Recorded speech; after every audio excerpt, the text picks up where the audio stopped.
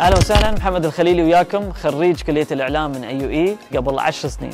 فش ما أقول يعني هاي نصيحة تراني من القدامى. طبعا آه، بالتخرج أول سنة ورا التخرج كانت صعبة ولكن دائما البدايات تكون صعبة. ممكن تشتغلون بأشياء ما لها علاقة بتخصصكم ولكن المهم يكون الهدف إن أنت ترجع للطريق نفسه ما تتشتت. من بعد اتجهت إلى عالم السوشيال ميديا الدعايات الإعلان كل الأشياء اللي تخص السوشيال ميديا وال paid ads هاي.